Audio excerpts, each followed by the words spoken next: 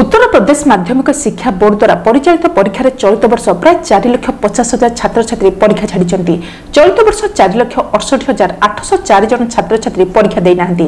board ସଚିବ କହିଛନ୍ତି ଯେ କପି କରି ଧରାପଡ଼ିବା ଅଭିଯୋଗରେ ଚାରିଶହ ଛାତ୍ରଛାତ୍ରୀଙ୍କ ନାଁରେ ମାମଲା ରୁଜୁ ହୋଇଛି ଉତ୍ତରପ୍ରଦେଶ ବୋର୍ଡ ପରୀକ୍ଷା ଦୁଇ ହଜାର କୋଡ଼ିଏ ଫେବୃୟାରୀ ଅଠରରେ ଆରମ୍ଭ ହୋଇଥିଲା ପ୍ରଥମ ଦୁଇ ଦିନରେ ଦୁଇ ଲକ୍ଷରୁ ଅଧିକ ଛାତ୍ରଛାତ୍ରୀ ପରୀକ୍ଷା ଛାଡ଼ିଥିଲେ